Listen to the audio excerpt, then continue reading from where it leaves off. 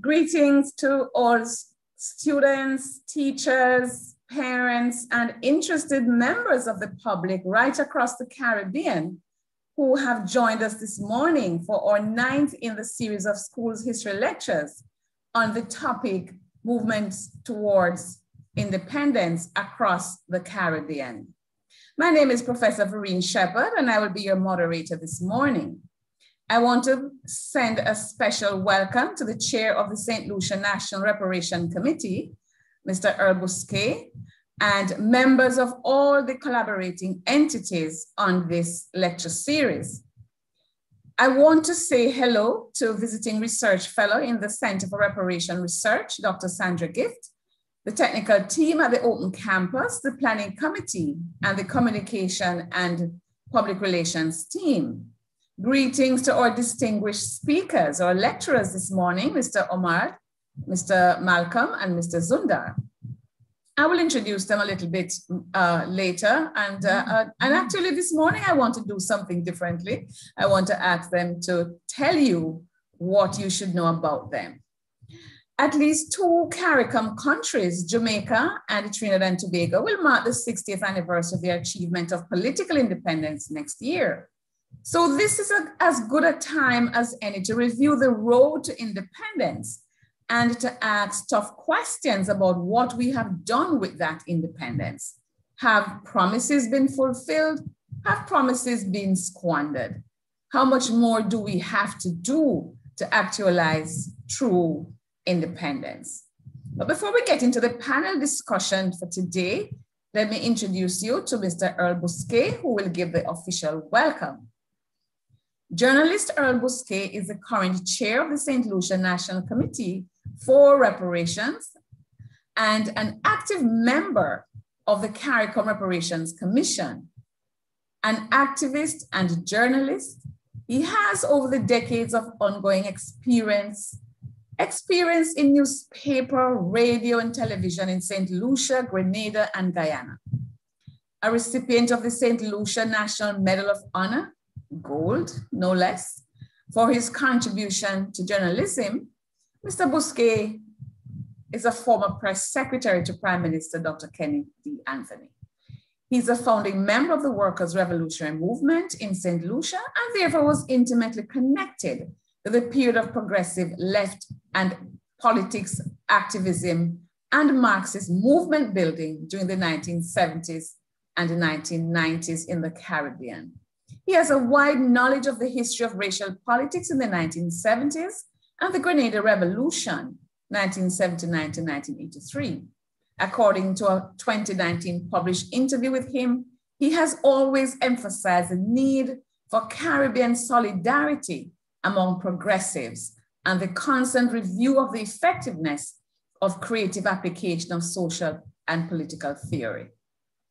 So it is now my pleasure to ask him to give the official welcome and to say a little bit about why the St. Lucia Reparation Committee thought it critical to forge links with other entities to conceptualize and implement this lecture series. Mr. Bousquet? Uh, thank you very much, Professor Shepherd, uh, for this generous introduction.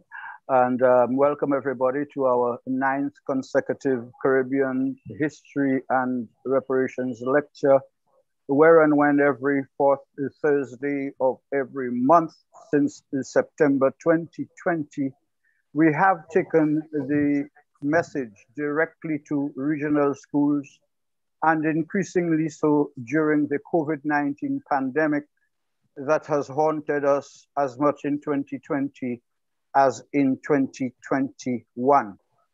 As always, our message is primarily to secondary students preparing for history exams. And today we look at the road to Caribbean independence. Of course, Caribbean independence was established in the name of the entire region, first by Haiti in 1804, defeating the three European powers or three powers to establish uh, the world's first Black Republic followed by neighboring Cuba and Venezuela, all of which fought wars and shed blood for their independence.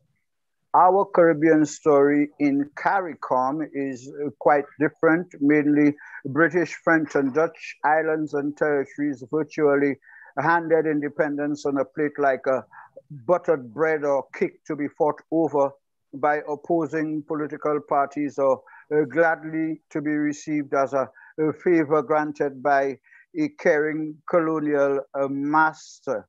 And it is in that context uh, that, as Madam Chair has asked, we took the decision almost a year ago to launch uh, this series of lectures at the regional and national levels so that we could take uh, the whole history, the story, our story, not his story of us, but our story, in this case to our students at secondary schools across the region. And we are glad to welcome you to this, our ninth consecutive lecture in that regard. And our presenters today will tell and show you uh, how the whole question of independence being a gift from our benevolent colonial masters was never really true. That we indeed struggled for our independence, albeit peacefully and politically within the limits allowed by colonial rule. And then there was that period I like to refer to as grudging British apprenticeship for independence uh, through the process of associated statehood that reshaped colonial rule to accommodate local uh, voices, but within the realm of the empire. In the case of St. Lucia, the island was elevated in the colonial realm to statehood status in 1967, a full 12 years before independence in 1979. And then independence became a partisan political football between the two major parties for the elections of that year. Because the opposition opposed independence being made an election issue by the ruling party at the time, Independence Day, the 22nd of February 1979, was virtually like lockdown and curfew from midnight with royal British snipers guarding the Queen's representative during the highly restricted official ceremony to lower the Union Jack at Queen Elizabeth Dock in Port Castries.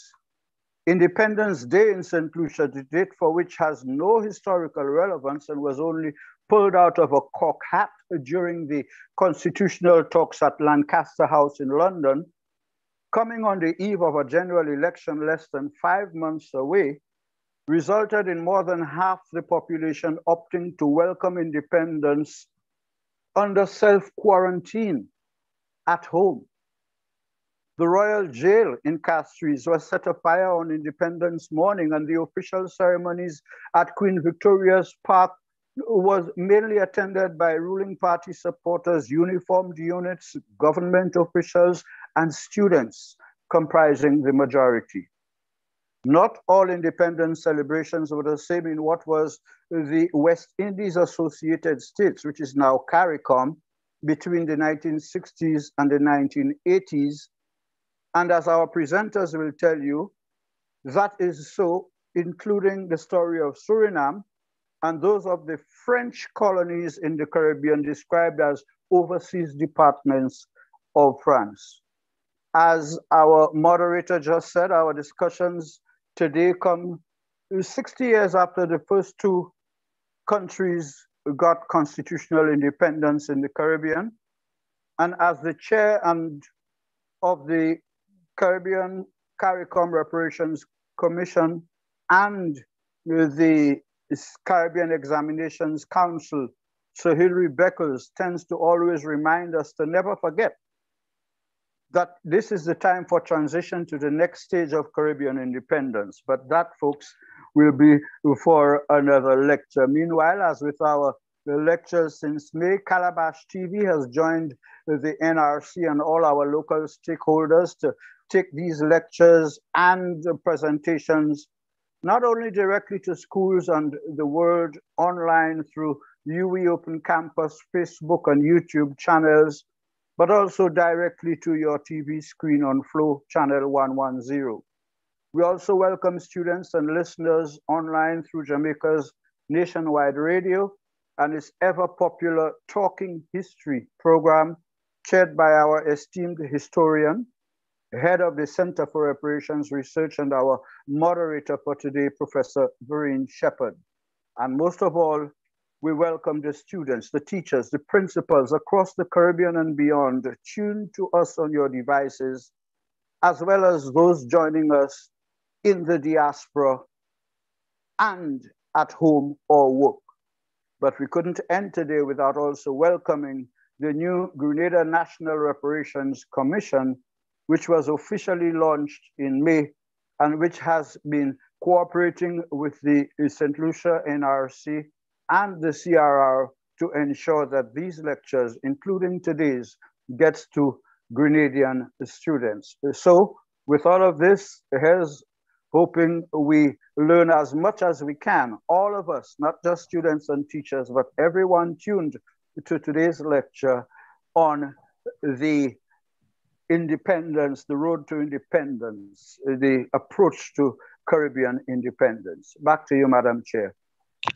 Thank you so much. Um, thank you so much, Mr. Bousquet, for not just welcoming, but giving the context within which we have been doing these lectures for a little while now. And uh, we have our final one coming up uh, in July. I know you're going to all miss what we have been doing for the past year. It's my pleasure now to introduce our speakers to you. We're going to begin with Mr. Armand Zunder, who is head of the Suriname CARICOM Reparations Commission. Our second speaker will be Mr. Dorbrene O'Marde. And of course, Dorbrene is a chairperson of the Antigua and Barbuda Reparations Support Commission. He's also one of the vice chairs of the CARICOM Reparation Commission. Then we're going to have a teacher who is always willing to be on Talking History when he's called to service. Mr. Norman A. Malcolm, a teacher of history and Caribbean studies at Ardenne High School in Jamaica. So I'm going to turn over now to Armand Zunder. Mr. Zunder, you can tell the students anything about yourself that you think they should know, not just that you are the chair of the um, committee there in, in Suriname. So you have 15 minutes and um, your time starts now. Over to you, Mr. Armand Zunder. Thank you, Madam Chair, uh, Professor Verene uh, Shepherd. Uh, my name is uh, Armand Zunder, and I'm an uh, economist. Um, uh, trained in, uh, in the Netherlands at the University of Amsterdam. And um, actually, I've been working in the financial sector for many, many years. And as a matter of fact, I have established three insurance companies. One in Suriname, uh, which is Self-Reliance, one in Aruba, which is Empire Insurance, and one in Curacao, which is uh. Um, and they were um, actually um, the first um, general insurance companies that were established by uh, local entrepreneurs. And I've always also been working at the money and capital market of the central bank of, uh, of Holland. And now uh, I am uh, uh one of the advisors of the um, vice president of Suriname and also um, joining the trade unions since I retired. I'm uh, the uh, uh, chairman of the oldest trade union in Suriname, which is PWO, and that was established in 1948. And Today we will emphasize um, on um, the theme of the lecture, which is uh, uh, uh, movements towards independence in the Caribbean with uh, special emphasis on, on the, uh, the Surinamese case. Um, I, I, would uh, um, actually appreciate if uh, the host can um, project my presentation. Is that possible? Yes, one moment. Okay.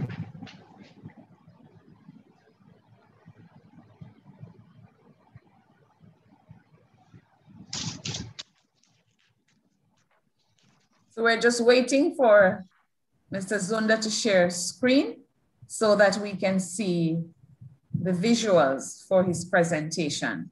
But let me welcome again everyone. Let us know you are here by posting in the chat. Remember, you can post your questions to the speakers in the chat. So I want to know which students are here, which schools you're from. So please be active in the chat. Okay, we have your presentation. Over to you again.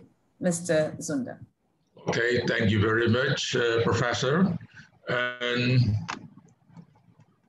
Can I get the, the second uh, uh, page and can you assist me by, um, yes, uh, no, the second one, this is the first one, thank you.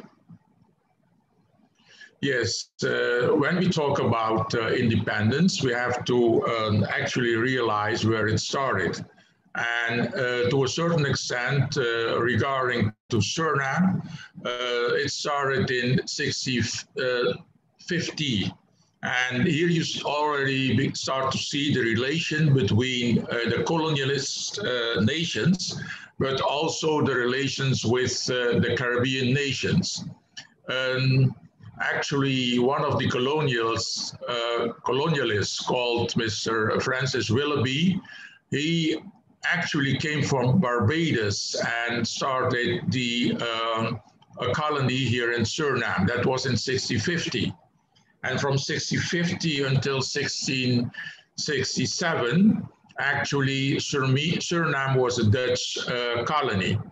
And besides that, also in two later periods, starting from 1799 till 1802, and from 1802 till 1816, uh, Suriname was also uh, occupied by, by the British, being a British uh, protectorate and uh, British under British uh, temporary rule.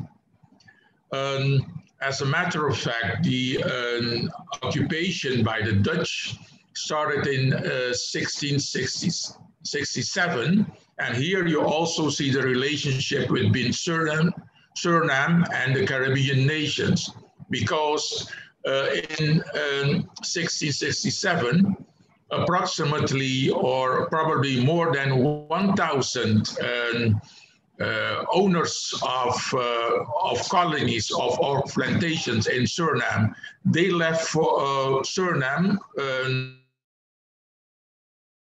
to Jamaica, established themselves in Jamaica. And um, in 1683, you see that um, actually the company that, that um, uh, occupied uh, Suriname for the Dutch government is called the Geoctrooieerde Sociëteit of Suriname. Um, and that company, um, in that company, the Dutch West Indian uh, company participated for one third of the shares. It was a private company. And the other uh, one third was actually um, in the possession of a Dutch uh, nobleman called Cornelis van Aerssen van Sommelsdijck. And one third was actually occupied by the city of Amsterdam. And in 1770, you see that the city of Amsterdam actually um, possessed two-thirds of the colony of Suriname. And calculations that we have made, can I get the other uh, slide, please? Um, calculations that uh, we have uh, made shows that it, in the period 1683 until 1939, approximately 125 billion euro was extracted by uh, Dutch colonialists uh, to especially Amsterdam and uh, the province of, of Zeeland. Um, of course, uh, the population in, in, in Suriname did resist the occupation. It started actually uh, from the start, and in, in 1686, the first treaty with uh, the indigenous people uh, was signed. And then later on, uh, in the next century, in 1760, different treaties were actually signed with uh, what we actually call the uh, guerrilla fighters of then. Some people say, um, especially when um, uh, they talk about his, his story, they talk about runaway slaves. But we talk about the guerrilla fighters that actually left the plantations and started the guerrilla warfare against the colonialists at that time. Nowadays, these people are also called uh, the Maroons. Uh, the struggle for um, independence, you could say, culminated in the 1930s again, uh, because as you know, in 1921, 29, there was a, a, world crisis started in starting in, in uh, New York at the stock exchange. And from 90, uh, from that time until you could say 34, actually there were there was a lot of unemployment all over the world, and also in Suriname. From that period, actually, the trade union movement started, and the leaders that were uh, that came forward were Mr. Louis Doedel, and um, as a matter of fact, Mr. Louis Doedel was uh, taken into custody in a psychiatric uh, institute where he stayed for 43 years. Um, and, uh, and that is where also he died. Mr. Anton de Kom, who was, is also one of the heroes of that time, this, this uh, trade union leader was actually banned from Suriname and sent uh, to, to Netherlands where he um, also joined um, uh, the, um, you could say, the, the guerrilla that was there, and he actually died in a Dutch concentration camp. Next slide, uh, slide please. Uh, so this is the capital, uh, capital cash inflows in the Netherlands that I just talked about. It happened in the per period 1684 ending just before World War II. And in that period, uh, sugar, mostly sugar, approximately 60% of the amount, coffee, cotton, cacao, gold, also woods were actually transported or extracted from the Surinamese economy and went to Holland the net present value um, in euros of 2016 is 125 billion euros. Next, uh, please. What we also have done, I, I don't see the, uh, uh, the graph, but I can look at it here in my paper. We have actually calculated the wage bill for non-payments to enslaved Africans. And um, in um, actually the period of, of real chattel slavery was 1683, uh, where the figures actually are available, because it started in 1650, but from 1683, we actually gathered the, the data. And during that period, the wage bill was approximately 3.3 billion Dutch florins. And from 83, 1863, for the 10 years, uh, it was 206 million uh, florins.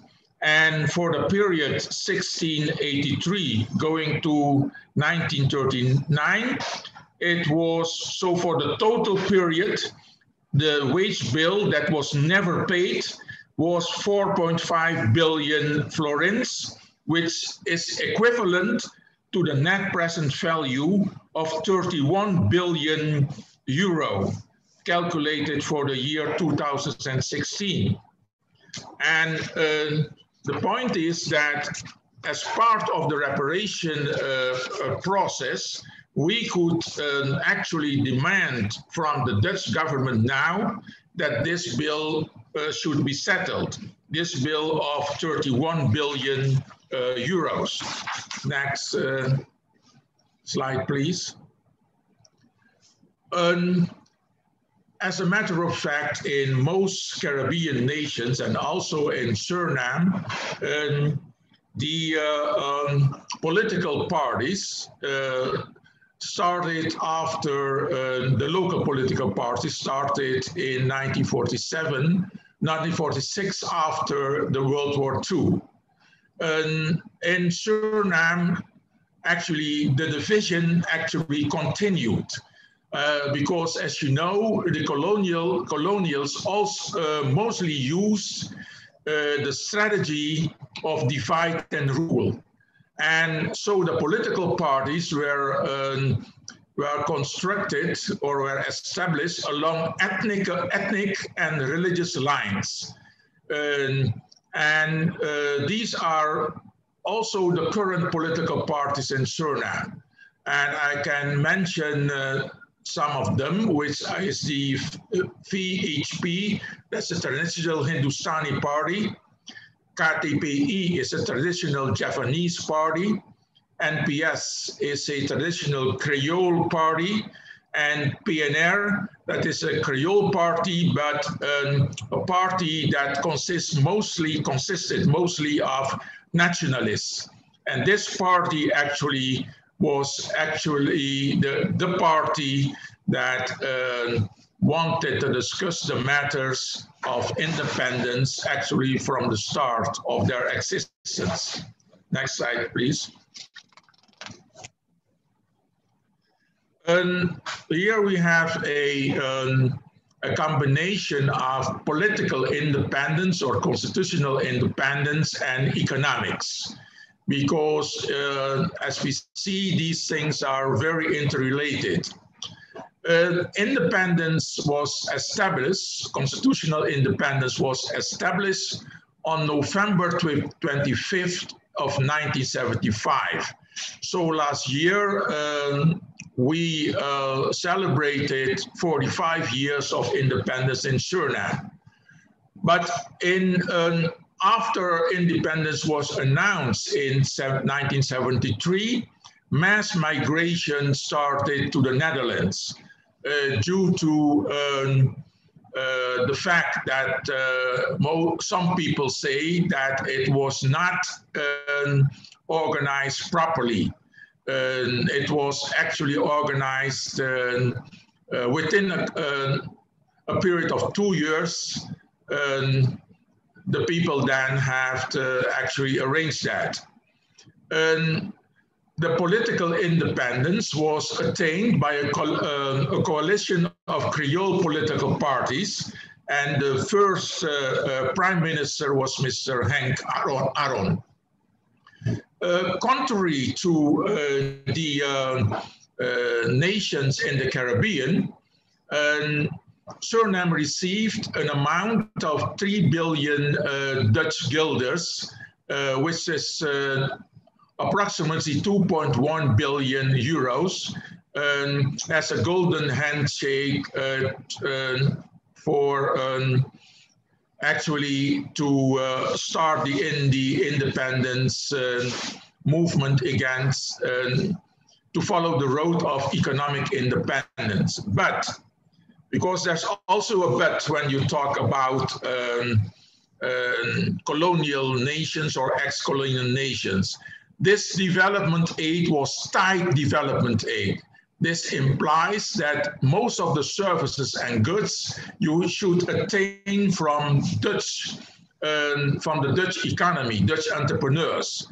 And um, the, the amounts were destined to research, to exploration, exploration uh, for natural resources, infrastructure, energy, uh, agriculture, especially rice, mining, especially bauxite. And if you look at the balance of payments uh, during that period, let's say 1975 till 1980, then annually 300 million uh, Dutch florins were flowing into the economy, but at the same time, an amount of 8 million was actually transferred as, as profits of uh, Dutch and other multinationals out of the Surinamese e economy. So net, there was actually an, an, an, an outflow of half a billion um, uh, guilders at that time. Next slide, please. And then in 1980, we had our first coup d'etat here in Suriname, five years after independence. And the, it resulted in a second migration flow to the Netherlands. And actually the migration flow in the from 1973 till 1975. And the last migration flow resulted in a big, big uh, migration, but also brain drain um, from Suriname. And um, actually the coup d'etat happened because the army was not too happy with the government, uh, with the spending of, of, of uh, funds and the distribution of funds, etc., etc. Next uh, slide, please.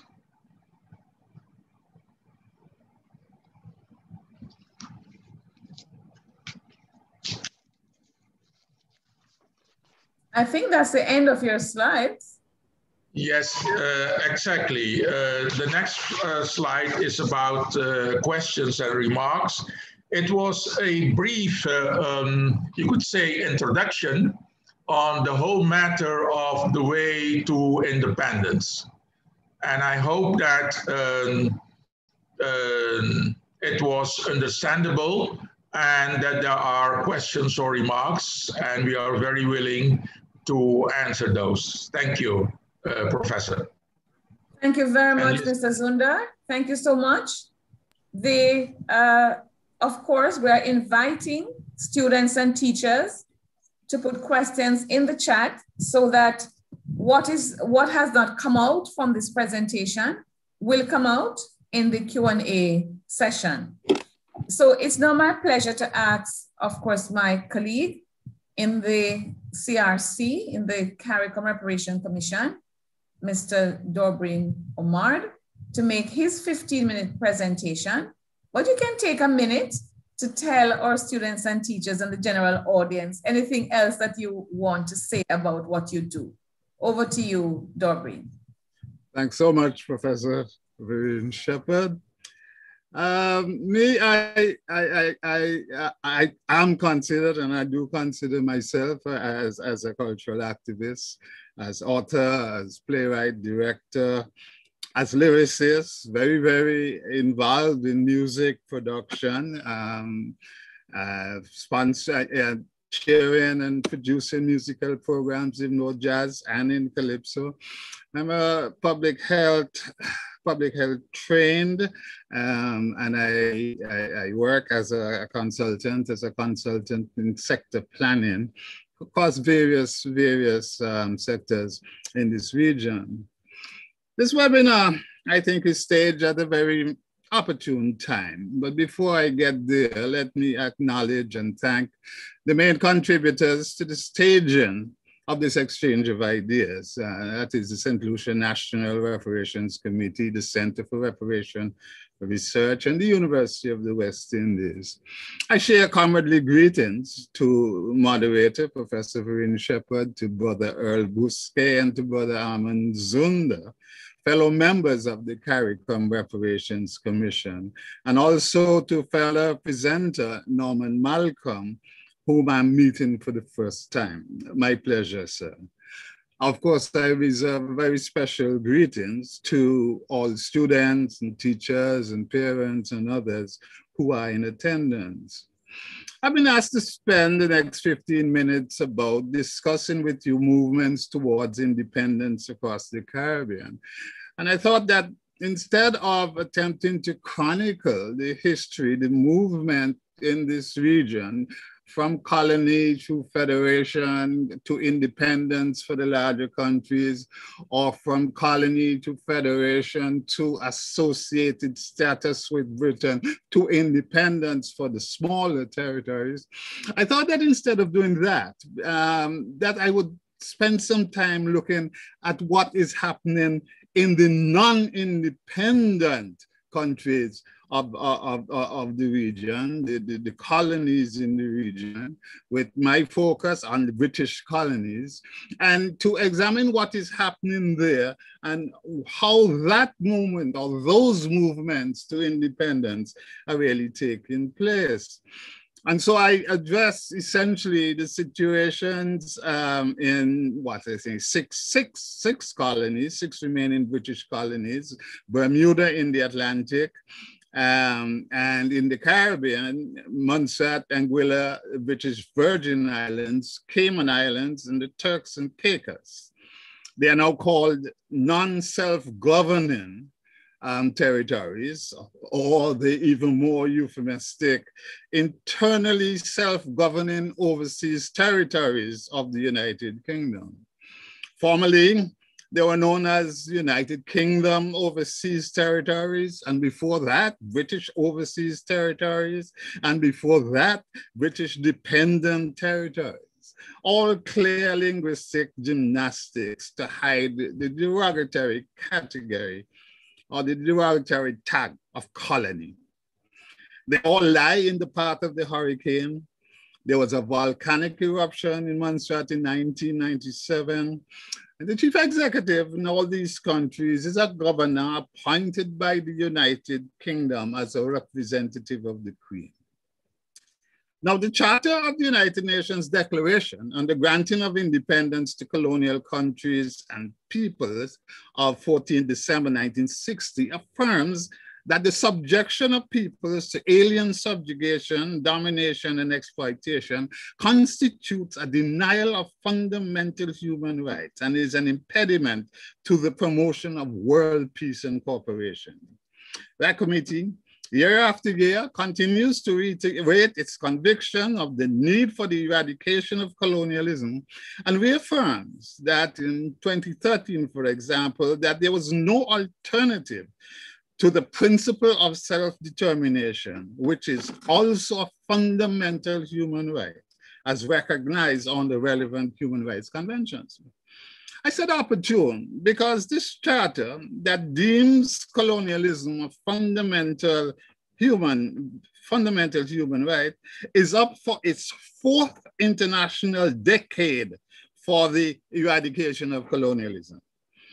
The organ in the United Nations, the Special Committee on Decolonization that has responsibility for overseeing the implementation of the Charter is chaired by a Caribbean person, Ambassador Keisha McGuire, who at the opening session of the committee this year in February called on member states of the United Nations to note that this year we entered the first year of the fourth international decade for the eradication of colonialism.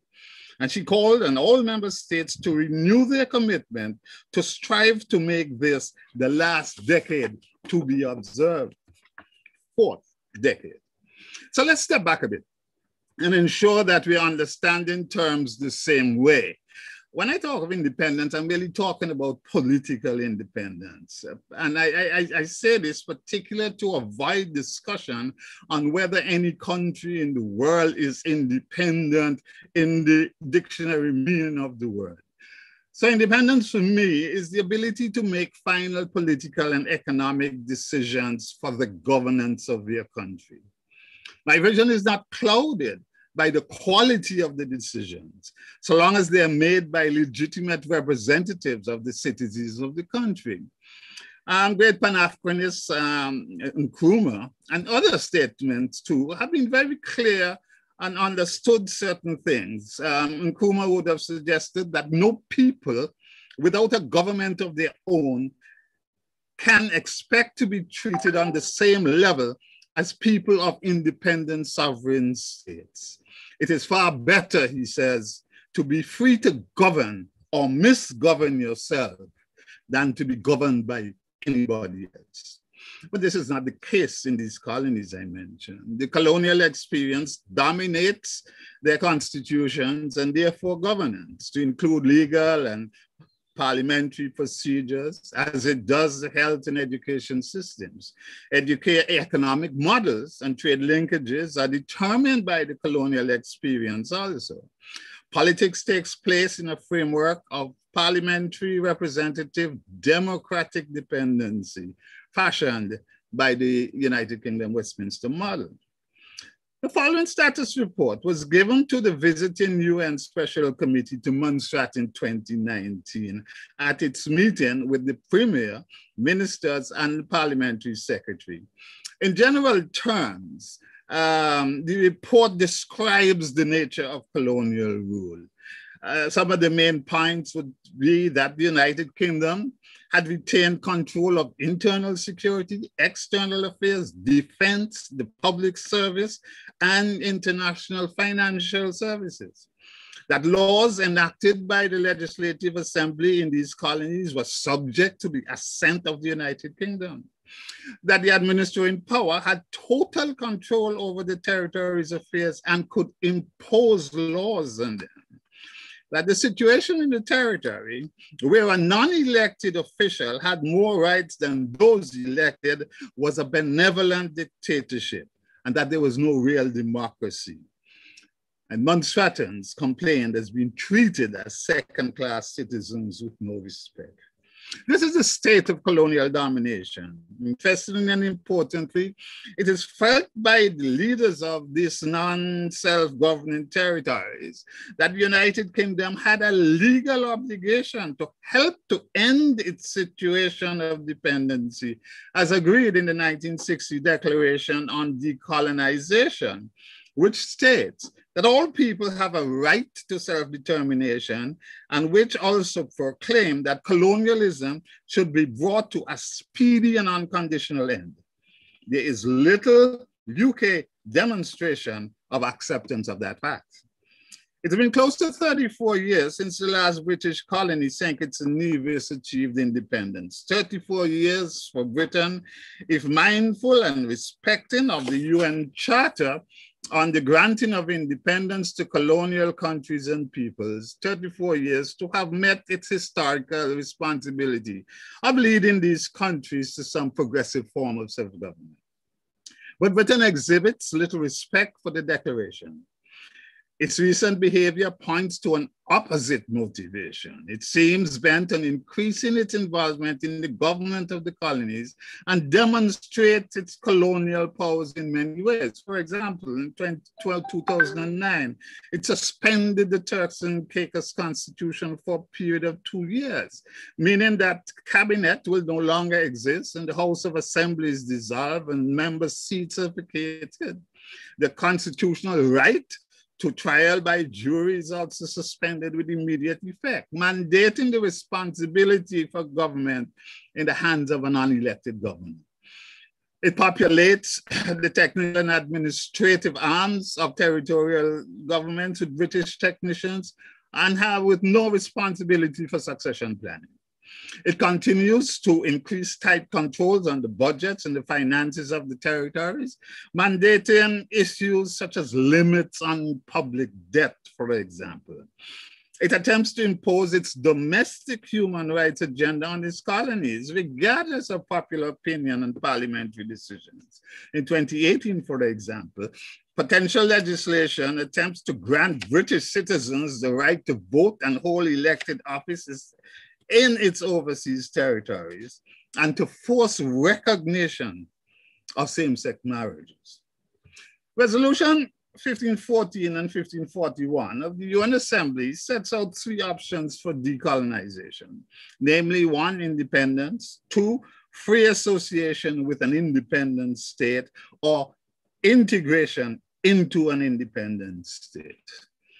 The UK response issued to the governor of Montserrat says simply that pursuant to the white paper on all the overseas territories published in 2012, in which the government of the United Kingdom had set out its overall approach to all its overseas territories, the United Kingdom would not prevent them from becoming independent if that was the wish of the populations. This is a fairly safe statement for the UK to make, even in its desire to hold on everlastingly to colonies. The reality today is that there does not seem to exist in any of the colonies a strong critical movement towards independence. This does not mean that there were no movements for independence before, or that there is no desire, no existing desire for independence among citizens. For example, there was an organization called the Anguilla Independence Movement in 1999. In 1990, the Chief Minister John Osborne of Montserrat recognized that most of the people of Montserrat, particularly the young, would like political independence.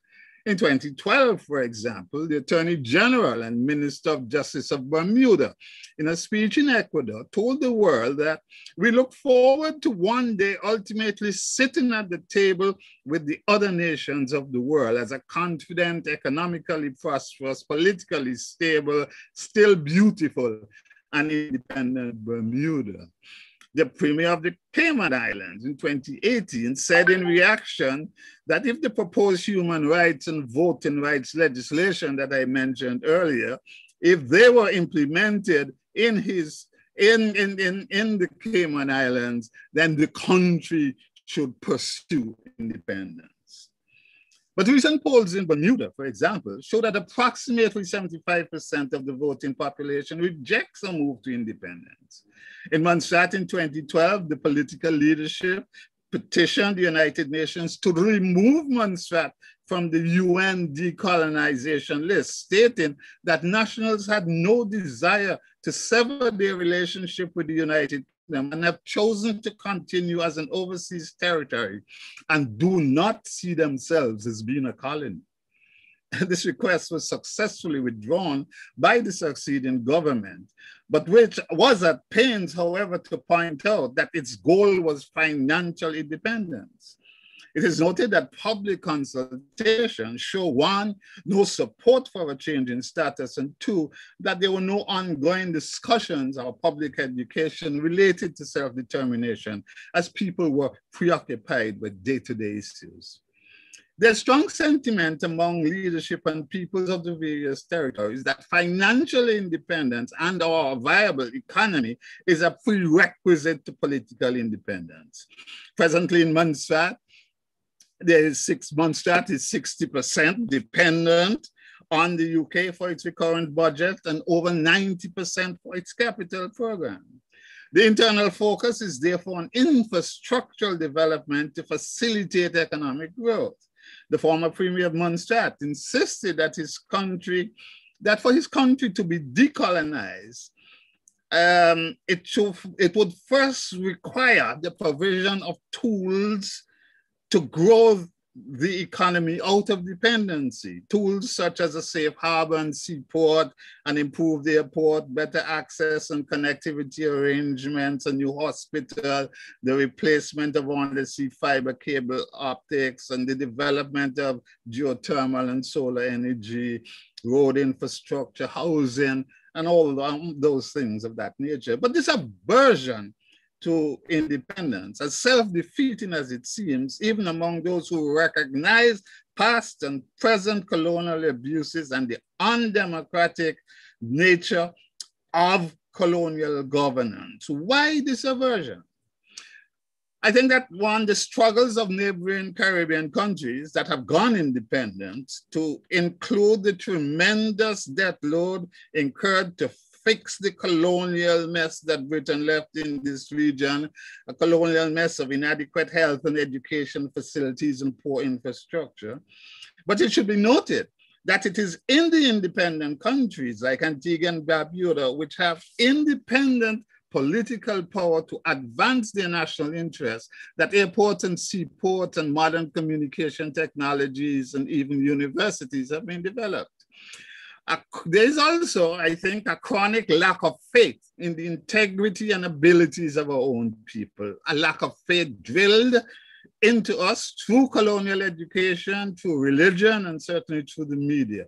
And this is coupled with a lack of confidence in ourselves, a lack of confidence common in most post-colonial populations. These two issues are of importance to the reparations struggle. We call for reparations to remedy the existing crises in both health and education and to reverse the psychological trauma and damage inflicted on our people through hundreds of years of enslavement and colonialism. In addition, there is widespread belief that territories with small populations and land mass are not economically viable and therefore should never consider independence as their next steps in development. But St. Kitts and Nevis, for example, with a population of 52,000 people and a GDP per capita of approximately US $20,000 is independent while the Cayman Islands, with its population of 65,000 people and a GDP per capita of nearly 85,000 US dollar, still debates the possibility of independence. That clearly size and GDP uh, uh, has not been a considering factor, considered factor in the Cayman Islands to the movement to independence. In closing, I would like to make a quick comment on the role of the Special Committee on Decolonization. In 2012, its newly elected chairperson was calling for new strategies to ensure, and I quote, the final disappearance of the archaic concept of colonialism. And we noticed by 2019, the recommendations of that committee, both to the administering state of the United Kingdom and to the, the, the, the, territories, the colonies, that those recommendations are now leaning towards the building of societies with basic infrastructure and services, looking at the employment for young people and women and implementation, importantly, of the 2030 agenda for sustainable development. I end here before Sister Verene ends with a call to CARICOM and the independent countries um, of the region to assist these colonies to find a way out of colonial grasp. Um, I think that we have witnessed no further examination of preparatory movements to independence, such as federation and associated status, routes that the present in the, in the independent countries um, took. I'll stop here. Um, there's quite a lot for discussion and perhaps some things will come up in the question and answer. Thank you so much, Dorbrene. I'm listening and I'm fascinated because you don't know this, but my task, one of my one of the my responsibilities as a member of the Committee on the Elimination of Racial Discrimination at the United Nations is to focus and report on every year the status of what they're calling the non-self-governing territories. And we should exchange our reports because I did make a report this year um, in April to the CERD because Article 15 of the International Convention on the Elimination of Racial Discrimination calls on CERD to report annually to track the meetings of the Committee on Decolonization and you know to report on them. And I should just tell our, our, our viewers and listeners that there are 17 recognized self, non-self-governing territories scattered across Africa, the Caribbean, Europe, the Indian Ocean, North and South Atlantic, and the Pacific. They are American Samoa, Guam, US Virgin Islands, administered by the United States of America, Anguilla, Bermuda, British Virgin Islands, Cayman Islands, Gibraltar, Las Malvinas, they call it the Falklands, Montserrat, Pitcairn, St. Helena, Ascension, and Tristan da Cunha, and the Turks and Caicos Islands, all administered by the United Kingdom of Great Britain and Northern Ireland. Then you have French Polynesia and New Caledonia, administered by France.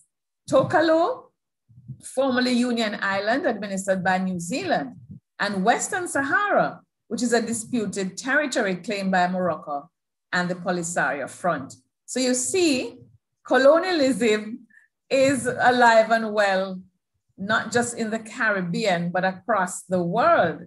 And uh, the, the, the project of that CERD has is to comment on the petitions from within these, these countries, you know, and they don't call them countries, they call them territories.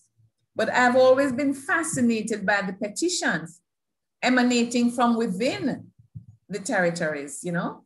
And so what my question when the time comes to you will be to whether uh, have, you have seen any of those petitions and what's the status of the people's discussions within those, those countries uh, as we speak.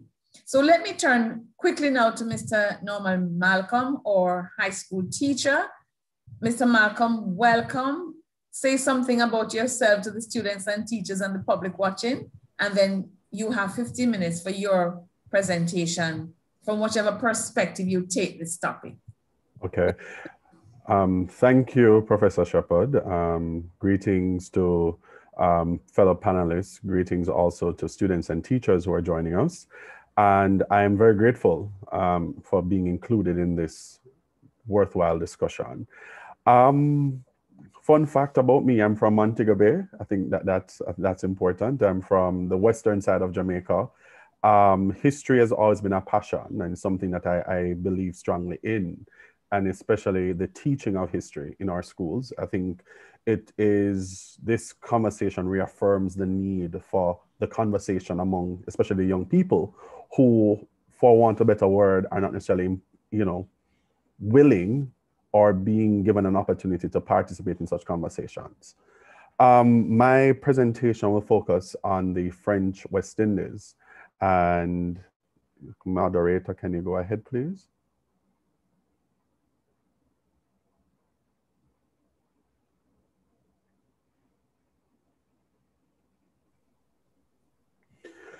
All right, so for the purposes of my presentation, this is the, the question that I'd want to have in the back of your mind going throughout. Is the French, is the French West Indies independent or dependent? Now, the French, like other European colonizers, saw their colonies as a unitary system of mercantile operation, political management, and jurisdiction. So basically, they saw their colonies as existing for the benefit of the metropole. And as a result of that, there are two staunch or startling um, consequences. One is the integration of colonies along imperial lines, and two, the geopolitical fragmentation of the unified Amerindian world. So when we talk about linguistic and culture, especially in the context of the French West Indies, we're going to be looking at assimilation. Next slide, please. Now, the French Antilles, you know, the sentiment of it was intimately related to the development of sugar plantations. And as a result, Lasserre and Mableur refer the consequences as being the rapid disappearance of indigenous people, the rapid importation of Africans, and the forced interbreeding of blacks and whites. And I must pause that generally when we hear independence in the French West Indies, we'll think of Haiti. But Haiti is so great and so grand that its movement, you know, it gets its own focus. But for the purposes of my presentation, I'll be looking at the French Antilles, looking at Martinique and Guadeloupe and others. Continue, please. Now, here is a clip from Sugarcane Alley. It's a minute long, and uh, you can just listen for a bit, and then I'll explain what it entails.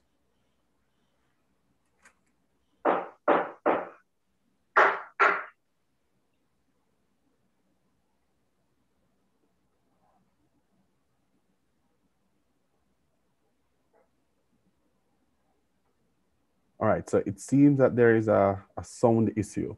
Now, the film Sugarcane Alley um, takes place in 1930s Martinique when Africans working in sugarcane fields were still subjected to severe treatment by their white employers.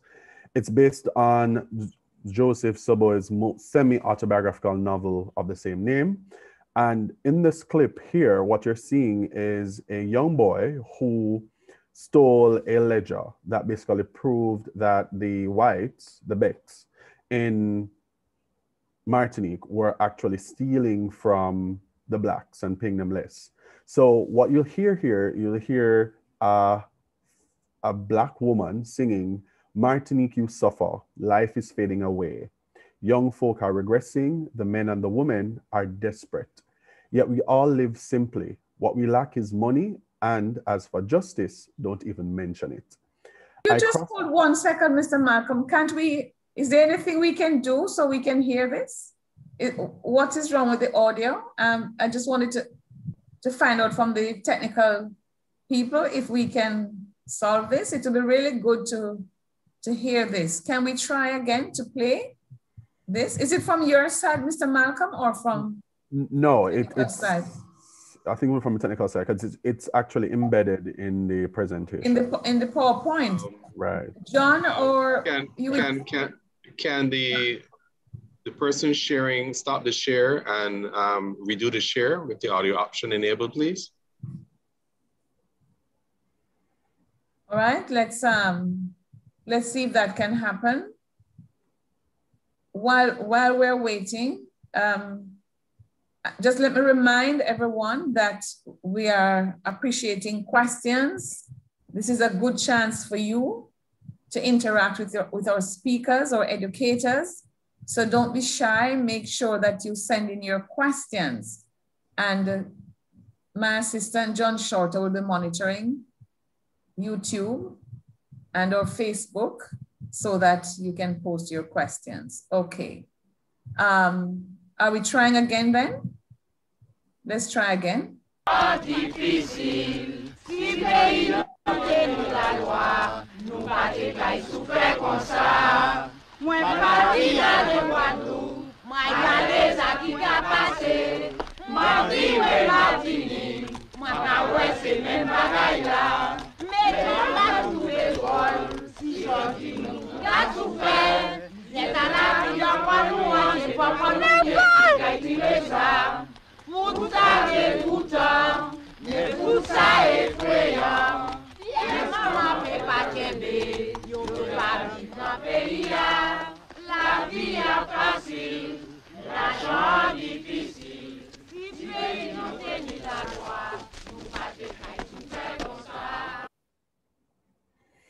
Right. So, for those persons who are not French speakers like myself, what in the translation here it says, Martinique, you suffer, life is fading away. Young folk are regressing, the men and the women are desperate. Yet we all live simply. What we lack is money, and as for justice, don't even mention it. I crossed over the crossed over the sea to go and see what was happening in Guadeloupe. Their suffering is like ours, this deep-rooted misery in our guts. Who among us can tear it out? How terrible, terrible it is. The people cry famine. Life has become impossible in this land. Yet life could be easy. Money and justice are what's needed to end our suffering. So it this film, Sugarcane Alley, it chronicles life in Martinique, as I mentioned, in the 1930s. And in the 1930s, this will also tie into the rise of negritude in the French Caribbean and Africa as well, coming off the heels of the Harlem Renaissance, which was influenced a new Negro Renaissance out of the United States. And you'd had um, key personalities like uh, Aimé Césaire, Leopold Senghor, who would have written extensively on Damas, especially his poem Pigments, 1937, which is basically regarded as a manifesto of the negritude movement. Next slide, please.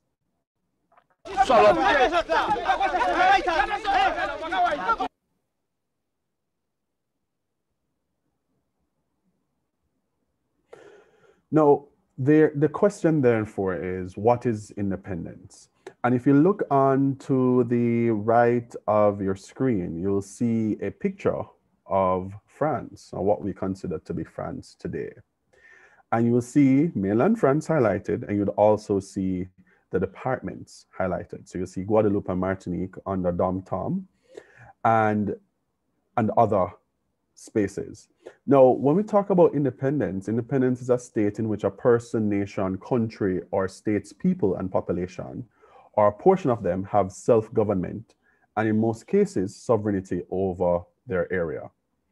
Now, the question, therefore, needs to be asked um, Are the departments equal to the whole? And then some might then ask the next question they're equal, but are they the same? And I'll dare say that Guadeloupe, for, for example, Guadeloupe and Martinique would not necessarily be the same. Yes, they may be equal on paper, but they're not the same. Considering the geographical conditions, considering the, the context of colonial history, 300 years uh, um, of said issues. So that would have created a, a very specific situation that although they would have been assimilated into France, they would not necessarily be considered to be the same. And this would shape, uh, through colonization, colonization rather, that would shape the experiences of the persons in the French Antilles. And, you know, especially looking at the fact that, you know, the same persons who are pushing or push this whole notion of assimilation from France would have been the same instigators of colonialism and slavery and establishment of these systems in the region. Continue, please.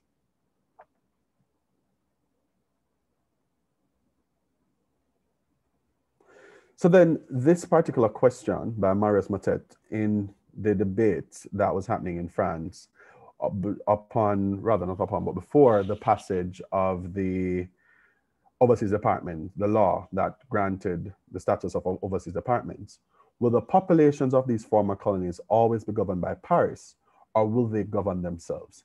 And it's an important question that in our discussion later on, it, it, that must be answered because yes, you will consider them to be overseas apartments, and yes, they'll be given a place in the assembly and stuff like that. But really, what does independence look like? Is it, will it ever be a situation that it is sufficient for them to just be overseas apartments, or are there other things that we need to take into consideration when looking at the French Antilles? Continue, please.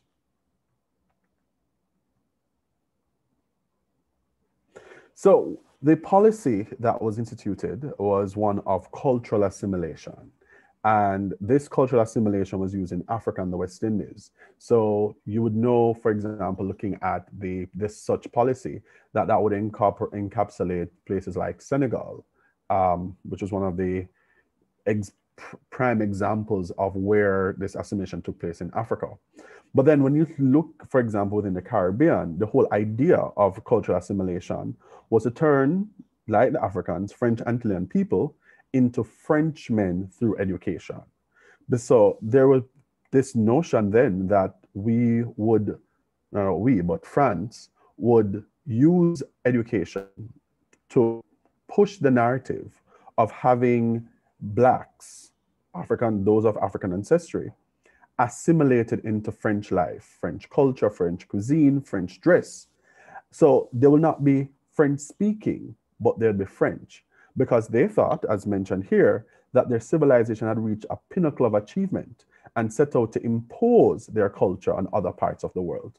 So the French sought to assimilate culturally after slavery in 1848, which was in contrast to the British, who saw those in the colonies as subjects to the subjects of the crown. So the whole matter of colonization was problematic and this assimilation process. Though in theory, yes, there were been some benefits that came from the whole matter of assimilating, but there are still significant gaps and questions left to be asked of this particular um, policy within the French Antilles. Continue.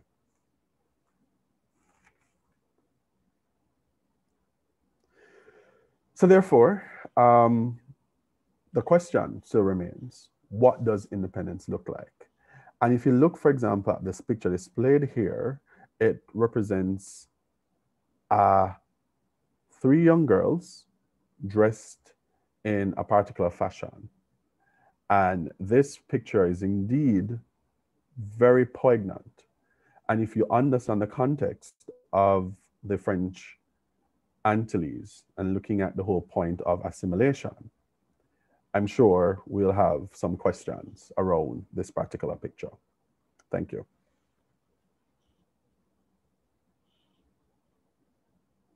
Over to you, Professor Shepherd. Thank you so much to all three speakers for excellent presentations.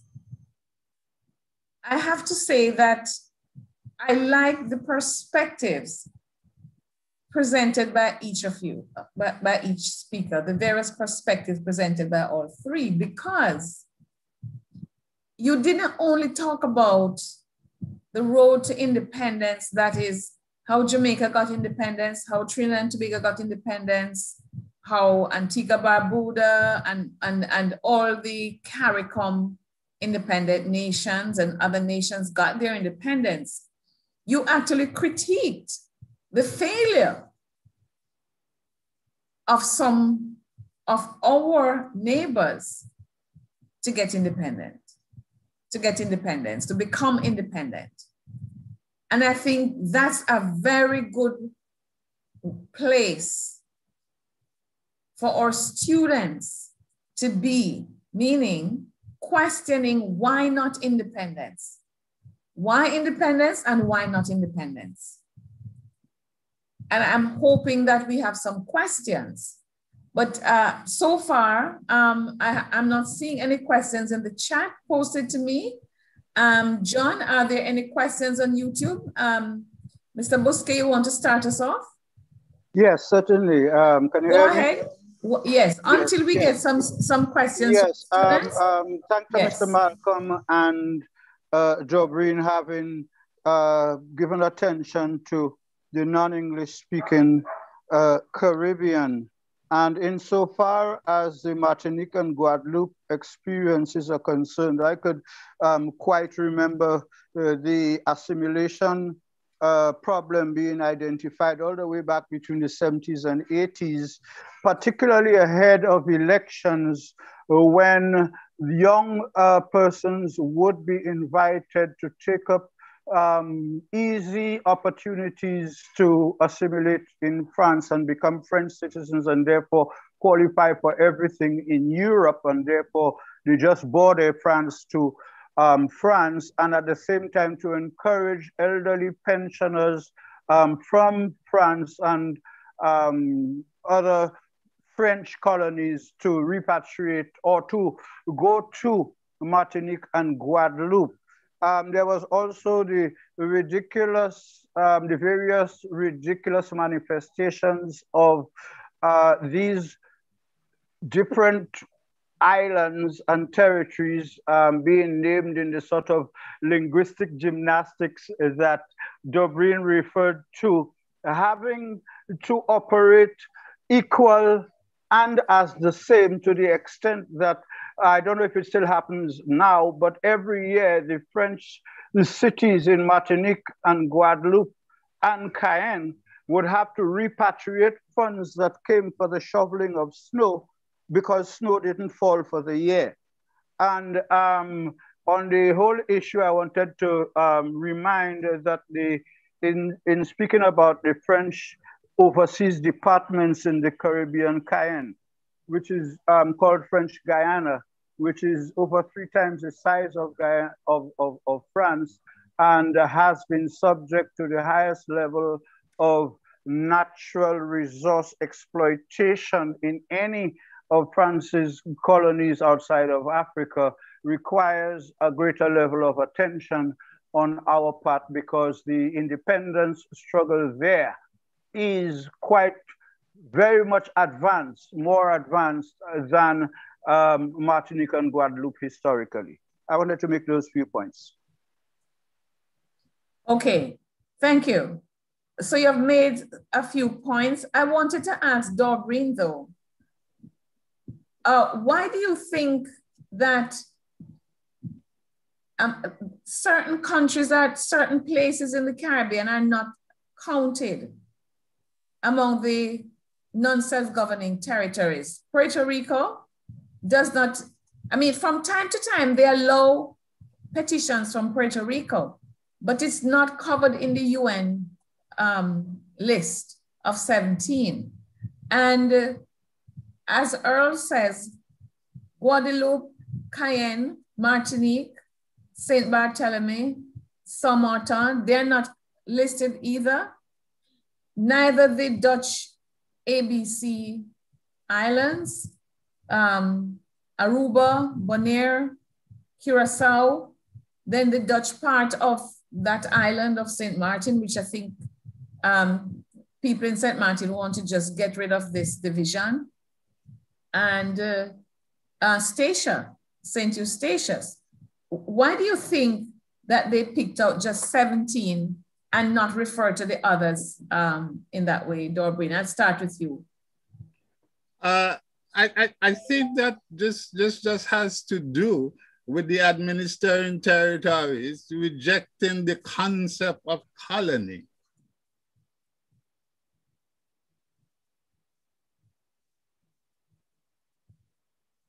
Sorry, Dorbrene.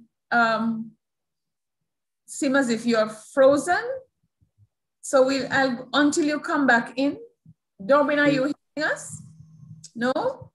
Okay. There's a question. Hello? Oh, yes, you're, you're back. And we didn't hear the answer at all. You were frozen for okay. a while. Um, I, I am saying that uh, this has to do, I think, again with with with with the linguistics, with with with how countries, administering countries, choose to call their colonies. Um, so the word colony is not used at all. So we talk of U.S. territories in the Caribbean, Puerto Rico, U.S. Virgin Islands, etc. We talk of departments of France, Martinique, Guadeloupe, Cayenne, etc. Departments of France. Um, I think the Dutch territories are talking about special territories, um, affording them the, the concept of special territories. And so they are not being recognized essentially as colonies in the sense that we are looking at the British colonies, although those, of course, now have also have a special name and may soon fall off that list, um, mm. that list for decolonization. When we begin to talk about non-self-governing or self-governing territories of the United Kingdom, etc. I think it's just linguistics. Yes, but have you, in your research, detected any support for independence within the places you covered. In, in, some, in some of the countries, in some of these 17, the, the, the, administer, the administering powers say that a referendum is necessary to decide if they should become independent. And in some of these 17, a two thirds majority saying they want independence is, is necessary. Uh, have you come across that? Have you come across any support for independence and how large or small is that movement? I, I, I would say it's, it's extremely small across this region, except um, growing, uh, strong growing movement in St. Martin at this point in time um, which I think you know we need to, to to to take a closer look at. But that that that seems to be the most active uh, movement for independence across the region right now. Well, strong movements, of course, in Martinique and Guadeloupe in the French departments also. I am not too sure about about uh, about Cayenne. Um, but the idea of a referendum, I think, is common to all countries, uh, all the British countries I'm talking of. And the idea of a two thirds majority virtually makes it impossible. When in, in our territories that have been divided along political lines, government and opposition, it is going to be extremely difficult for any government to get a two thirds majority in a referendum on virtually anything. We mm-hmm. saw the major failures um, in Antigua and in Grenada of attempting to get a two-thirds majority to join the Caribbean Court of Justice. As simple as that. The Caribbean mm-hmm. Court of Justice, well-established, mm-hmm. well-run, well-financed, and yet governments, a government in Grenada, which I think at that point in time probably held all the seats of parliament, and here in Antigua that held 12 um, of the 17 seats, or 13 of the 17 seats, could not get a 50% majority in referendum. And so right. we are boxed in in many ways mm by the constitutions. And, and perhaps by the failure to educate the population about the benefits of whatever we're asking them to support because of partisan politics. I mean, I think we we have to confront that. But, but let me shift. I'll come back to you in a while, but let me shift to there's a question on YouTube for um, Dr. Zunder. how was the unpaid wages for enslaved people in Suriname calculated? What, what method did you use to calculate? If you could unmute, um, Dr. Zunder, please unmute. Yes, uh, uh, Professor. Did you, you, did you hear the question? Yes, I, I heard the question, okay. but All if right. you allow me, then I, I wanted to elaborate just for a while on the matter of independence regarding the Dutch territories. Okay, go ahead. Sure. Curacao, Aruba, Bonaire, Saba, St. Eustatius. As a matter of fact, these territories are integrated into the Dutch system. And it was based on, on a referendum uh, called 10-10-10. The referendum was held on the 10th of October in 2010. And there the population actually decided that want, they want us to stay with, with Holland because uh, most of them uh, actually benefit from the social security system that the Dutch have actually implemented in Curacao. And another point is that um, some of the uh, population, they refer to Suriname, where actually after independence, um, um, you could say that um, our people, our politicians, uh, actually failed to manage the economy properly. So instead of uh, thinking that they could do it better, could do a better job, they refer to actually what was gone, what um, was done wrong in, in another territory. So um, that's what I, I, wanted to mention regarding the um, the fact that um, these uh, uh, islands um, they have, um, I want to add to that their economy is uh, they don't have uh, almost uh, uh any natural resources. So um, they are based on services, uh, offshore financial services and tourism. And, and so um, they, they choose um, in 2010 to uh, stay under the wings uh, uh, of, of, of, Holland. Okay, th that's then my response to um, the matter of uh, dependency or independency of uh, the Dutch uh, territories. Mm -hmm. Re regarding the calculation, I would first want to refer to a book that I published in, in in 2010, where I introduced a, method to calculate uh, uh, reparations based on the net present value.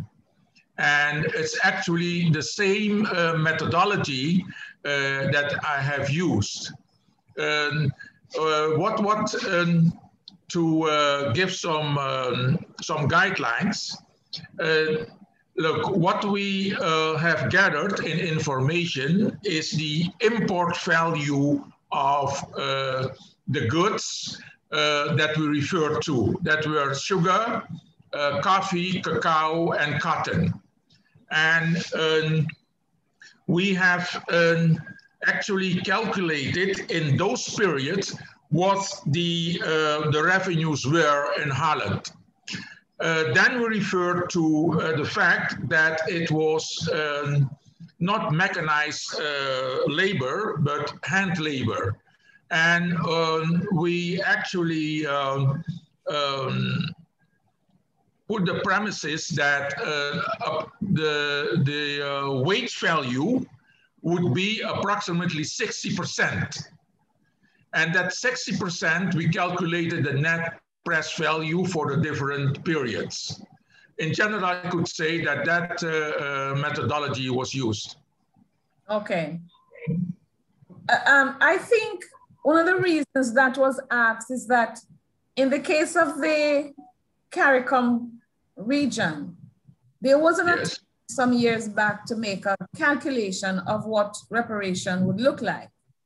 And they, in terms of wage values, they actually used the what a, what a, a, a wage worker in the UK would have been paid um, in the 18th century, multiplied by the number of field workers, let's say, and uh, applied interest, and then they came to a calculation. So I think it was whether you, you, you used the calculation at that micro level of what wages would have, if, if enslaved people had been paid, you know, what, what would each, what was the, what would be the, the wage, like a weekly wage or something like that?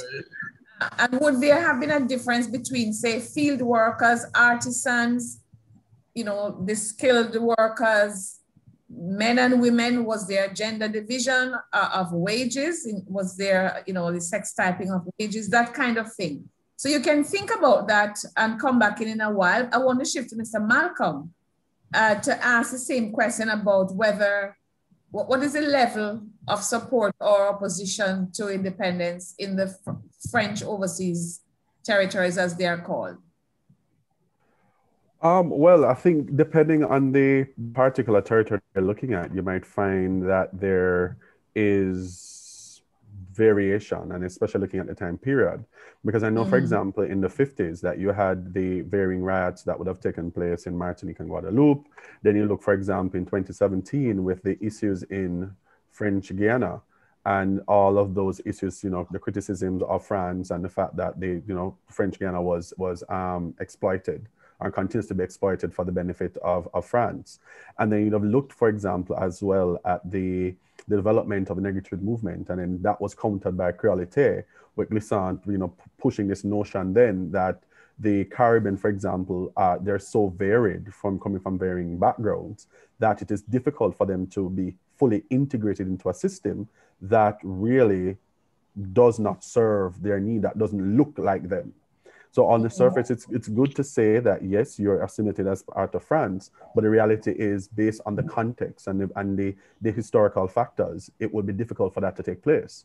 And the reality mm-hmm. is that France has, for example, now is suffering from this policy of assimilation because you know they went into Africa and say, yes, man, you are French. But then now you have the blacks going into going into France, you have the Muslims going into France, and they're saying, no, not you. You don't look like us. So that mm-hmm. now creates another issue. So I think, mm-hmm. for example, if you look, for example, in Martinique and Guadeloupe and even and French Guiana, there's still those persons who are pushing, especially in French Guiana, pushing for independence um, from from France. But we'll we'll see how that progresses in the next couple of years. There, there's a notion in the Caribbean uh, that when, let's say, Martinique, Guadeloupe, when they look at the British the former British colonies or the independent um, English speaking Caribbean countries now that they are close to, they make a comparison and say mm-hmm. economically they are better off um, than those independent countries, and therefore they don't see the value of, of, of independence in the politic in the maybe in the political sphere, but not in the economic sphere. Um, mm. does that come up in your reading? Right, it, it did. It did because one of the things, uh, the question that left my um, that was left in my mind was the fact that you know independence. So they will look on, for example, at the at the Caribbean, those who are, who are independent, and ask, does it really make sense economically or politically for us to become independent? But then on the flip side, though, you know, the sense of self, because the reality mm-hmm. is they have had to push down there this notion of okay, I'm this is what it means to be Martinican or Guadeloupean, and accept this idea of French that's being imposed on them so that they could assimilate and be considered. So yes, you have these wonderful economic opportunities with the EU and all the all the trappings that come with being French, but at the same time, the identity issue that you know is not necessarily given a platform within such conversations. Mm-hmm. Um, so, um, Zunder, is that the same yeah, well, well, I think you answered that. You, you, you, you talked about the economic benefits that people see and they prefer the, the social benefits too. But yes. look, when you look at Suriname now, um, I was amazed at how many political parties you, as, you identified and how they seem to be divided along ethnic lines. So Suriname is independent, but how is the independence actualized um, because of the ethnic divide. Does that come up? Is that an issue in Suriname now? It, it is an issue, but uh, politicians, they tend to say that um, it's a, a, beautiful garden, you know, but uh, um, it's, uh, you could say there are also income differences uh, in, in uh, um, or the spread of income between the ethnic groups. And I must say that the indigenous people and uh, the black people in Suriname are actually um, in the lowest uh, um, income income group. Uh, of course, there are some um, exceptions, but you could say in general. And uh, the fact is that um, that is a process that ha has been changed, not to the good, but to the bad. Um, and and um, for, for example, now uh, we are in, in, a, uh, in a period where uh, Suriname um, wants to uh, sign a, a, a um, extended fund facility with the IMF.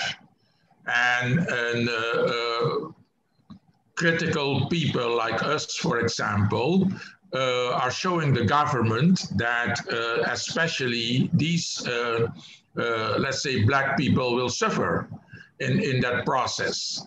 And so um, you could say we didn't have uh, those tensions that they had in Guyana and where um, uh, there was a struggle, um, people were fighting.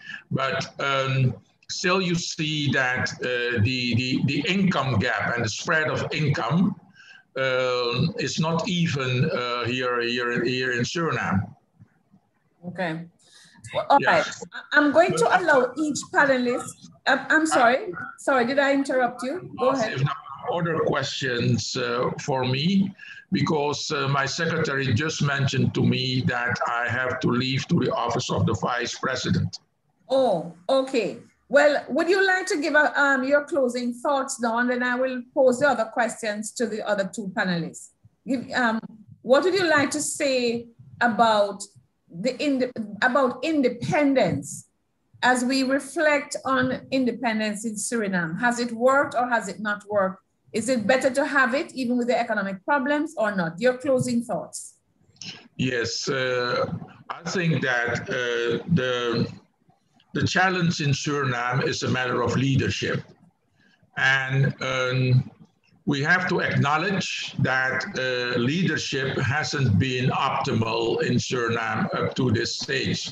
So it's a challenge for the youth and for the young people to um, actually um, uh, try to develop uh, a country with so many natural resources and so many also intellectuals, but most of them are in Holland. Um, that that's the challenge uh, for them.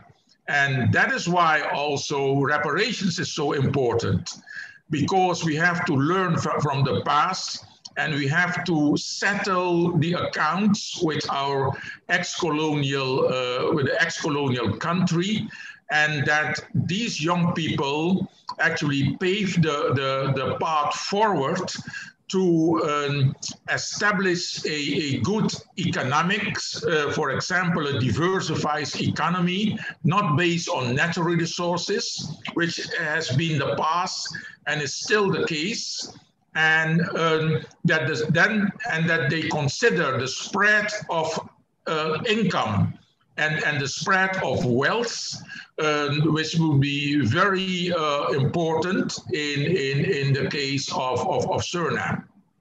Okay. Well, thank you very much, Dr. Zunder, for joining us today. I know you have to go and we'll let you do that, but um, I'm sure we can call on you again. We, because what we plan to do for July is to um, have all the speakers for the year come back and okay.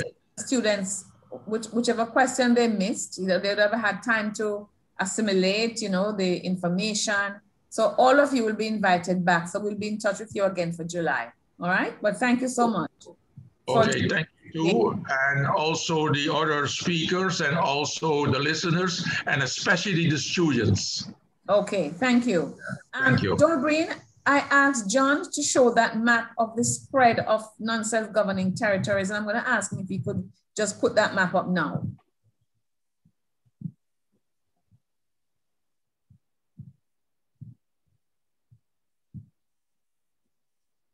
We're just waiting. Um, okay, so this is, if you could just point the arrow and identify, yes. So you, you just to show you the, the geographical location of the what, what the UN calls the non-self-governing territories and the 17 that have been identified.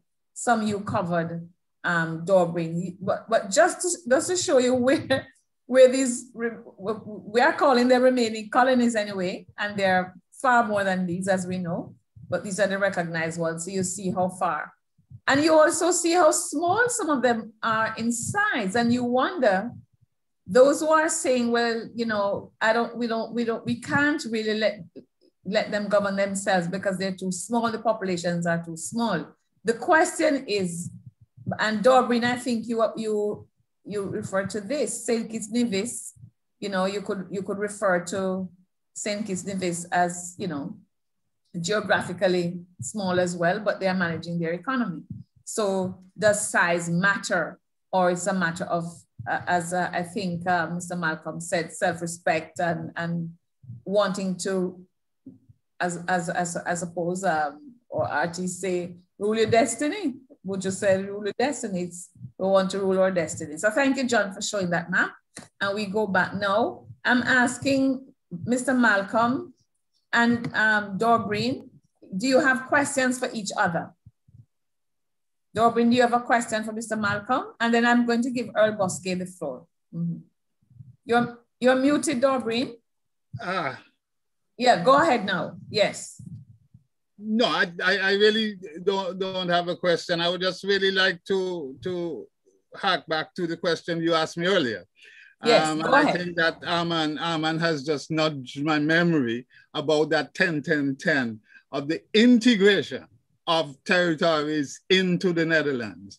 And integration was one of the three options that I had mentioned for that the United Nations considered uh, for decolonization so that we do have the integration into an independent state that as, as, in the Dutch examples.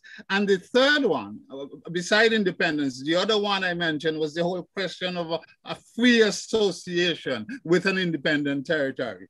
And I think mm -hmm. that it is under that rubric that the United Territories, the United States territories, are considered to be off that decolonization list.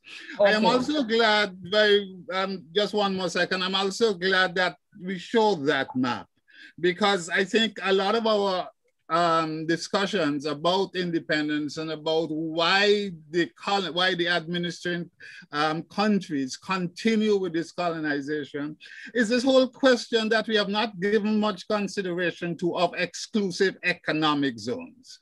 Yes. Um, that under the UN Charter, the law of the sea, back I think about 1980, 1982 maybe, these EEZs, um, areas in which a sovereign state has special rights regarding the exploitation and use of marine resources, including energy production from water and wind.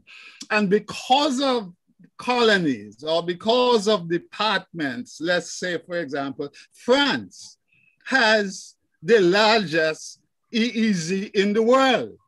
And, and this is not because of of, of, of, of the sea border in France. That is extremely small relatively. But because of its independent, of its departments scattered across the world, it now has um, the largest EEZ. And this is particularly important. It's of course followed by the United States of America and the United Kingdom a bit lower um, down the list. But these are some of the considerations which I think we must put on the table as to why there is resistance of offering mm-hmm. Mm-hmm. independence to a mm-hmm. number of the smaller territories here in the Caribbean. All right. After Mr. Malcolm speaks and Mr. Bousquet, I'm going to come back to you for a one minute closing statement. But I really want to nudge you, Dorbrene, as someone who lives in the CARICOM region, uh, to say what have been the promises unfulfilled of independence in our region? Or let me put it another way, the benefits and the pitfalls of independence as we look towards next year when Trinidad and Tobago and Jamaica will be 60 years um, on. Um, has it worked for us? Has it not? Maybe one minute is too short, but that's what I will have. So you'll have to condense your your. Mm-hmm. you have any questions for Dorbrene? Um. Any any anything else you want to add? Uh, I wanted to ask you, for example, if this is a topic that your students like, um, do they choose this topic, the history students, for review for CXC? Well, um, as it relates to that, uh, they, they generally go along the lines of looking at the British Caribbean. So it's about the, the, the movement towards independence in the British Caribbean. They, they generally shy away from the French because. I realize, mm-hmm. even with my colleagues, that it's not something that, that is widely examined, um, mm-hmm. looking at the, the French. Should we, should we nudge them towards that by having comparative questions in the essay section of the, of the, I, I, the paper too? I think so. I think so. But by having that comparative element, we'll be forcing them to um, immerse themselves into the content because I think what it is, they're saying, like, okay, well, I have the option of not focusing on that, so let me not look at that any at all. Does the syllabus allow them to consider this comparative dimension? Um, in an it, it, it's dependent on the teacher. So, for example, how I normally do it, I'll go through teaching the the the British, then the Dutch, then the then the French, and then have them do a comparative look, and mm. and based on that, now reflect on what were some of the issues that that stood out. What what do they see as possible next steps, especially for the French, and why is it that they think that they the French would have pushed this culture of assimilation, and then and as Dorbrene mentioned, the whole matter of political standing globally because France is one of the major superpowers. And if it is that you were to give up these small colonies in terms of space and, and what that what that would do its standing, and especially now in a 21st century world where everybody is jostling for position, you have China who's who's moving further up. There's the issues with America. Now France is using this now um, the colonies as a means of saying, hey, this is who I am. But at the same time, culturally, it's having all of these shifts taking place with the Muslims coming in and the, the, the, blacks going in and the racial issues, the racial tensions. Now, one is now left to question would th- these departments be considering the fact that, you know, this is clearly saying that you're not necessarily welcomed mm-hmm. by the mm-hmm. establishment. Mm-hmm. Yeah, so that's self that's self-respect dimension right. of, of, of, of an independent country, you know, and independent mm-hmm. people it, it, it sounds like the economic benefits are outweighing people's desire, or it is that those people of African descent and African people are among the majority wanting independence. However, if they are not, depending on the percentage in the population, they may not have the swing, they may not be able to swing it um, themselves. And if European countries are holding on because of the economic um, possibility and benefits of having extended empire, um, then how, how much have we moved since the period of what we call colonialism, um, which obviously has not died. Well, Mr. Mr. Bousquet, so you're going to give your closing statement in a while after Dorbrene, but let me hear from Mr. Bousquet. Yes, thank you, uh, Professor Shepherd. I wanted to um, go to Brother Malcolm because I share what I seem to hear um, from him in terms of the need for us to be careful as to how we assess the level of support for independence.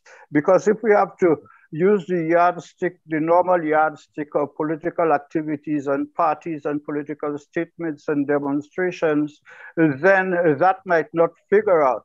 But if we are to listen um, to people and to watch how they demonstrate their thinking, we will find that in a situation where what I have um, noted here as colonialism, French colonialism being more quote unquote modern and efficient, re results in a situation where you still have St. Lucians, for example, saying um, they wish we had been colonized by the French because the French take better care of their people. But Brother Malcolm displayed a paper, and I want him to go back to it because I seem to have heard him inviting us to ask him to explain what does independence look like. And if we could have that photograph um, back up with the three girls, that um, that outfit is one which transcends across the French colonies, as well as in Dominica and St. Lucia, that were French colonies, as a real manifestation, what we call Journée Creole. It is actually Indian Madras fabric, but because of historical reasons, it is the common expression of that resistance. And I would like to hear Brother Malcolm's um, reason for highlighting that particular photograph.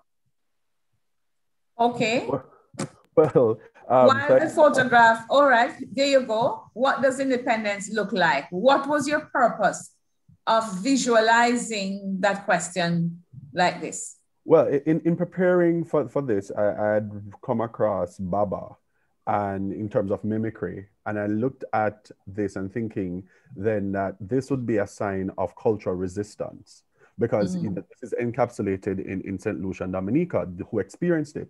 But you still, for example, you look at pictures of um, Martinique and Guadeloupe, I noticed that you'd still see this fabric and, and, and the head ties. And, no, and in reflecting on that, I was like, well, this does not seem then that everybody is very much in agreement with assimilating because this stands as to reason as a clear sign of cultural resistance to this whole matter of the French assimilation because this would be a, a retention of some sorts of their own or move rather towards an, an, an identity that is geared toward themselves separate from that of France. Okay. All right. So it's time now for us to to close, and I'm going to ask each of you to, to, um, to give a closing one minute, and then Earl will, will give the vote of thanks. Dorbrene? Yeah, I, I am, I am one of the advocates of the, the Nkrumah statement, you know, that it's better to be free to govern or misgovern yourself than to be governed by anybody else. And so when I look at the whole question of promises, the promises of independence um, in, in, in, in, in, the, in the Caribbean, I think in many ways that the promises were unreal um, and I'm back in the 19, where we, 1961, 1962 era, that the promises might have been unreal because not enough consideration would have been given at that point in time to the reality of the results of enslavement and colonialism. The unpreparedness of our countries with, with, with high illiteracy rates, poor healthcare, etc., to make way in a world that was essentially opposed to, to, to, to, to, to, the, to the well-being of African people. And so for me, I, I, I don't worry too much about this whole question of promises or unfulfilled promises. And likewise, I, I tend to focus on benefits. Where the pitfalls are, are not pitfalls around independence, but pitfalls around the leadership that we have generated within our independent, within our independent states. In other words, if the leadership is poor and they are making mistakes and they are misgoverning, this is not necessarily the fault of independence this, this is essentially the fault of leadership because the independence itself is sort of defined, designed within constitutions, fairly well established as to what independence means in terms of its freedoms and its rights, etc., etc. And so. I am, I am very, very, I should say, happy, quite well moved by what is happening as far as independence is concerned within okay. 60 years, where our countries have reached, what they have mm-hmm. managed to do and to achieve in that period. And if, but if you, I'm pushing a little bit, if you think about what Zunder said about a golden handshake, had we got well it didn't seem to have worked too much for them anyway because most of it went back to france to um to the netherlands but um, we are still fighting for that golden handshake because that for the CARICOM region that was not forthcoming. Yeah. do you think it would have made a difference? And um, will it make a difference now yeah, it certainly would have made a difference, and it will make a difference now. But uh, I think we can ignore the whole concept of golden handshakes and and simply press our case for reparations. Yes. Um, mm. To be inclusive of that supposed golden handshake that, that yes. we should have reached at at, at, at, at, at, at independence.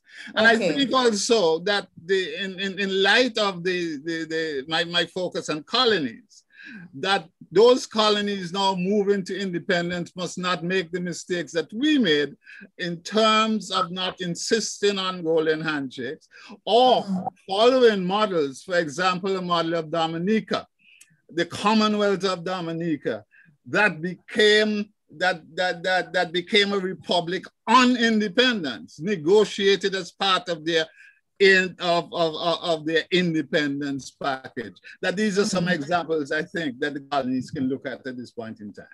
That's a good point. Mr. Malcolm, your closing minute. Um, well, one of the things I'd want to say is just that the in looking at the French Antilles, it's a, it's a rather complex um, situation.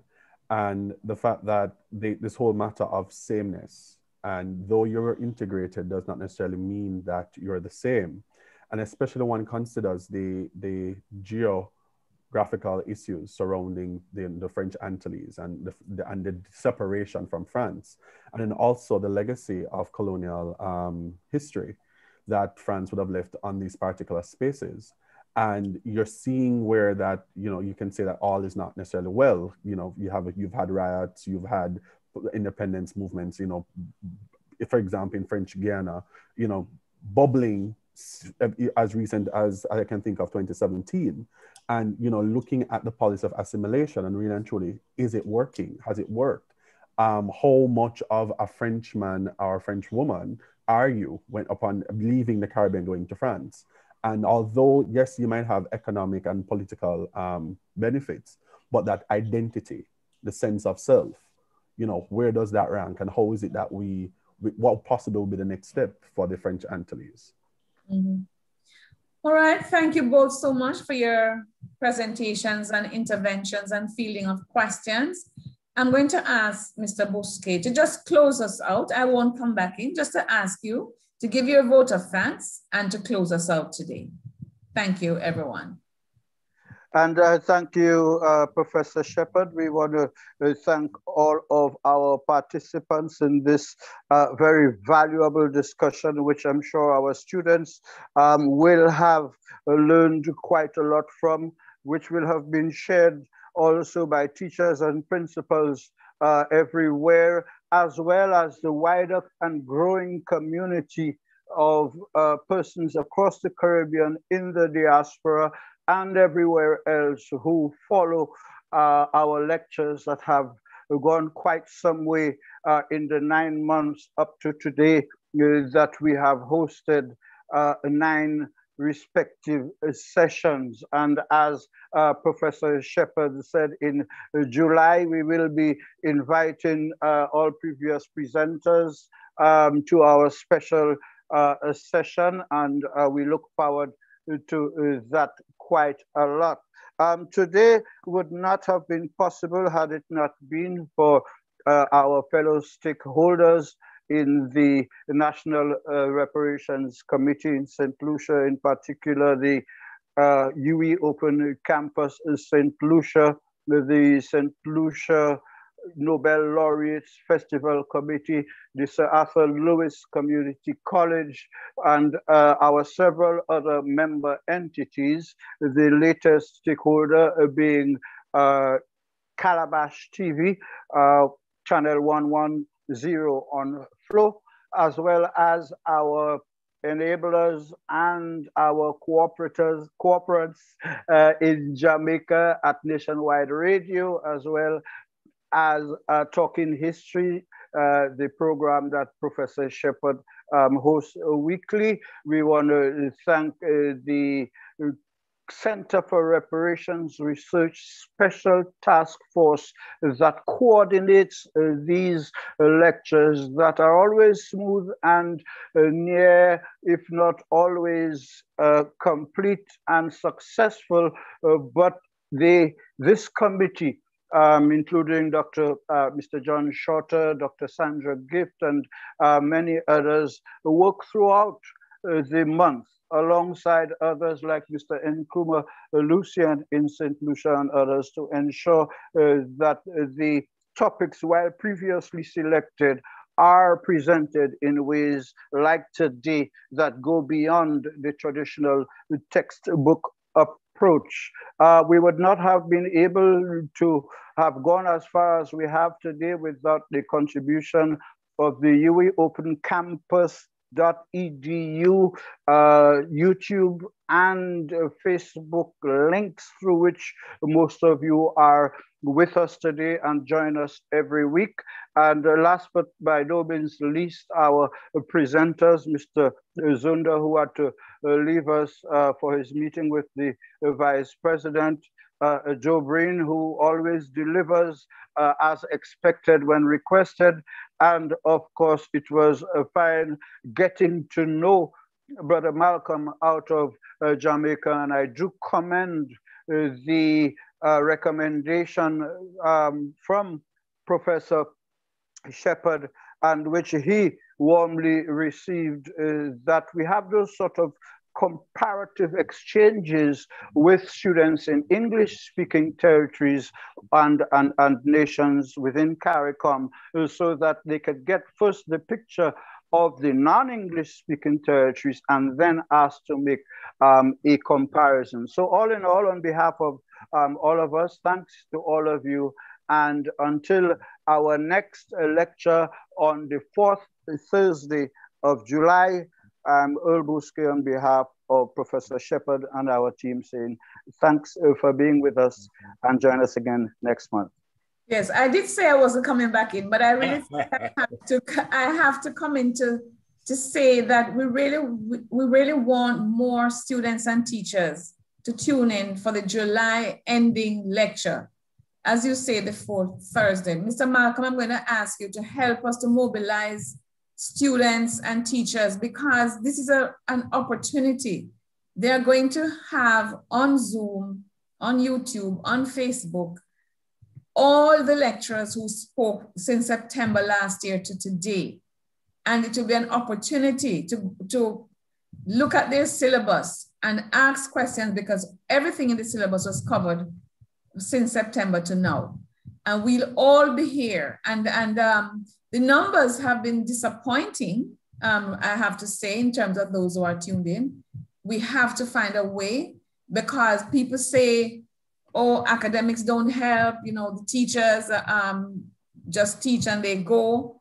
We have mobilized experts to help the, the students. So the reason the students have not shown up in their numbers, we have to find out why, and we have to work together to ensure that we have the parents helping us, the teachers helping us, the teachers associations, all of our networks so that in July, we'll have a packed house. So that's my appeal uh, for today, but thank you ever so much to everyone who showed up today. Thank you.